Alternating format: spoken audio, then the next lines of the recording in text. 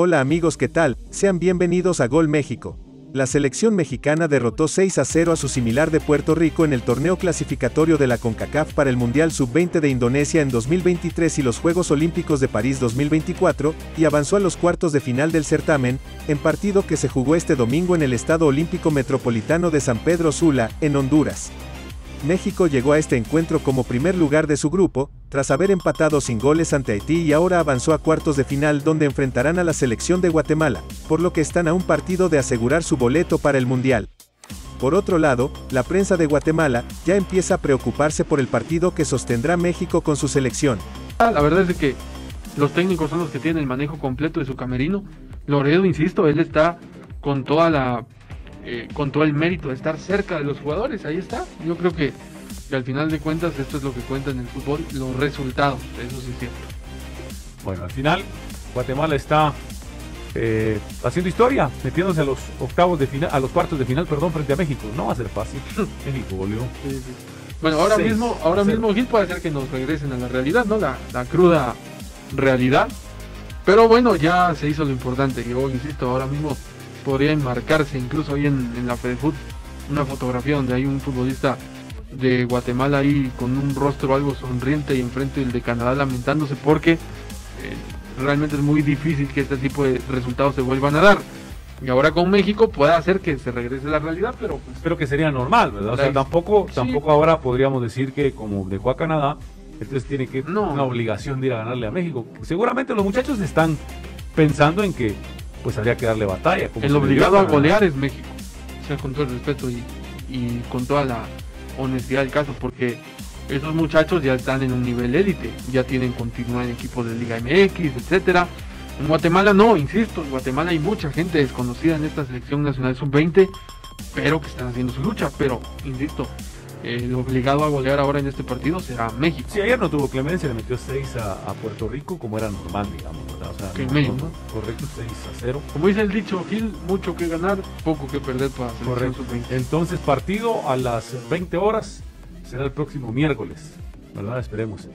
Guatemala, y ese que muchos diarios lo han puesto ya como que si Guatemala pasa a la siguiente ronda, que serían rondas semifinales, ya estaría en el Mundial de Indonesia 2024. Pero el camino está sumamente complicado. O sea, hace falta un pequeño detalle. ¿no? Sí, y, de hecho, como le digo, eh, la pregunta del millón, ¿cómo Guatemala no se encontró a otros en el, camino? Por ejemplo, Estados Unidos va a enfrentar a Costa Rica, esto va a ser mañana. Eh, Panamá va a enfrentar a Honduras, por ejemplo, también mañana. El miércoles República Dominicana a Jamaica y Guatemala a México. Un Jamaica por ahí. Exactamente, pero aunque le digo Jamaica eh, no es un plan tampoco. Y Estados Unidos recuerda un poco a lo del 2011. Imagínate si hubiera tocado pues Estados Unidos, pero ahora es México. Y las historias, Gil, las historias más importantes del fútbol se, logran, pues, se logran contra este tipo de rivales. Una gesta histórica sería de por eso decían, mire, mire, por eso decían que aquel partido eh, se recuerda entre Panamá y El Salvador que dijeron que lo habían arreglado mm. para que para que El Salvador eh, para que para que para que Panamá tuviera un acceso un poco más fácil, digamos, porque, digamos a Panamá. A ver, el partido decidía en el grupo estaba El Salvador con una victoria o Panamá con una victoria. Si Panamá ganaba, la selección de Guatemala pasaba como tercero, no como segundo, como terminó pasando. ¿A quién hubiera enfrentado la selección de, Honduras? Bueno, Honduras pasó sobre Curazao, ¿verdad? Panamá sobre Cuba. Entonces dicen por ahí que se arregló de tal manera porque, porque Panamá quería quedar tercero y enfrentar a Cuba y no a Canadá. Es que sí. Por eso. Y ahora mire eh, cómo queda la serie. Panamá-Honduras. o sea, si, Guatemala hubiera quedado tercero, digamos, no le hubiera ganado a, a Panamá, por ejemplo, yo esto lo estoy, estoy barajeando ahí la, cosa, ¿verdad? Aunque le digo, para ir a un mundial también hay que, hay que hacer méritos, pues. Y si hay que dejar a México para ir a un mundial, como lo hizo contra Estados Unidos, pues hay que hacerlo. Total, ya se clasificó en 2011 allá en esa historia. Sí, correcto. Entonces al final, pero, sí, pero sí, me, parece que, que, por lo menos el, ánimo está hasta arriba, ¿verdad? Sí. Y, y, la ilusión se mantiene intacta. Más allá de que enfrente está un gran rival como la selección de México. Pero bueno. Eso será el Cualquier cosa. No pueden ganar como podemos ganar. Sí, en una normal, porque, y lo dije hoy antes de la conversación con Rodrigo, el mejor equipo hoy, hoy, del premundial es México. es México. No, no, ahí no vamos a engañar a nadie, pues. No vamos a mentir. Hoy el mejor equipo, arriba de Estados Unidos, arriba de Costa Rica, arriba de Honduras, arriba de todo, es México. Es México. Y con México tenemos que hacer un, un partido que no solamente raye en lo perfecto, no, más de lo perfecto. Porque tenemos que tener concentración, ubicación, orden. Eh, no le podemos dar un ápice de ventaja. Porque Entonces, ¿qué te dice tu lógica? Que lo lógico sería que México ganara. Sí, pero también mi lógica me dice que hay accidentes del fútbol. Mira cómo lo estoy poniendo. En el fútbol hay, hay, accidentes, hay suerte, hay falta de suerte, hay todo. O sea, necesitamos, eh, vuelvo a lo mismo. ¿Para vos quién ganaba? necesitamos que en México se levanten todos con el pie izquierdo. ¿Para vos quién ganaba? ¿El Salvador o República Dominicana, Rodrigo? ¿Para quién, quién ganaba? Bueno. El Salvador, pero ah, bueno. entonces hay accidentes, ¿va? Entonces pero El Salvador no es México. Eso sí no, está bien, está bien, pero sí hay diferencia. Bueno, bueno, te la pongo más así, pues. Te la, pero te la pongo más así. Sí, tienes razón en todo. No, no te puedo decir así cuando tienes razón, Juan. No, no, no. Te la pongo así. Mira, te la pongo así. Eh, eh, me estás diciendo México. Bueno, ok.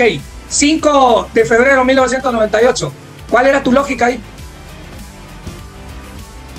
Cumbia, Brasil. Brasil, obviamente. Hay accidentes, ¿verdad? Entonces. ¿Crees que ganara Brasil? bueno, nosotros, igual. Pues fue un buen resultado y sí, la verdad no. que es lo más alegre que ha visto la selección guatemalteca. No, yo no, yo no. Pero yo clasificamos no a la siguiente ronda. Yo no soy millennial, lo más eh, contento que yo vi, lo más alegre que yo vi fue ganarle a México en Tegucigalpa y lo que he leído. No, no, no, fue un buen resultado, sí, pero no ha sido lo, lo, lo, mejor que hemos hecho. Nada. No, lo más grande que hemos hecho es conseguir el Norseca del 67 y Municipal del 74. Eso es lo más grande, indudablemente. De ahí hay cosas muy, muy importantes, como la medalla de bronce de Caracas, como lo del Pocho en el 2001 en, en la UNCAF, eh, como lo de comunicaciones en la Liga de CONCACAF, que es muy importante, pero es menos que los dos que te estoy diciendo. Es lo, lo, menos. El octavo lugar de los Juegos Olímpicos de México 68 también es importante. Importantísimo. Se le ganó a Checoslovaquia, que venía como subcampeón vigente del Campeonato del Mundo, porque ahí se jugaba con selecciones mayores en esos momentos. Pero lo más sublime es Norseca 67, en Honduras. La voz en Honduras siempre tenemos buenos resultados en Honduras, porque la selección del Pocho fue en Honduras también, ¿va? Sí, sí, Honduras, Honduras. Guatemala contra México tiene que tener el orto que tuvo Argentina contra Brasil en Italia 90. Sí. Vamos a ver. Algo muy similar. Algo muy similar. ¿Sabes cuántos tiros en los palos ahí no? Eh, sí, Siete. Siete en los palos. Sí, no, no, no, totalmente de acuerdo. Totalmente de acuerdo. Y que vamos a sufrir, mamita. Y si viene un gol rápido, ahí sí se puede dar la lógica de, de don Rodrigo. Ahí sí se puede. Ahora, si logramos por X o Y razón aguantar, no sé. No sé, ayer yo sí le vi un orden muy bueno a esta selección. Y a pesar de los tres partidos que traía entre pecho y espalda, físicamente yo sí los vi bien. Aparte del crecimiento de algunos jugadores importantes, vamos. Eh, pero yo creo lo más importante, lo más importante es la, el Norseca, que es prácticamente la Copa de Oro. Es la Copa de Oro, es ganar la Copa de Oro. Hoy tiene otro nombre. Antes se llamaba Norseca, Norte Centroamérica, eh, Centroamérica del Caribe. Oye, y Guatemala lo ganó. Arriba Estados Unidos. Ya van a decir tus tíos que se no cuenta porque es del pasado. y, ¿Y sabes a quién le ganó? Le ganó a México. Le ganó a México 1 a 0. Entonces, la final fue contra Honduras, pero, pero le, le había ganado a México. Entonces, ese es el triunfo más importante a nivel de selección.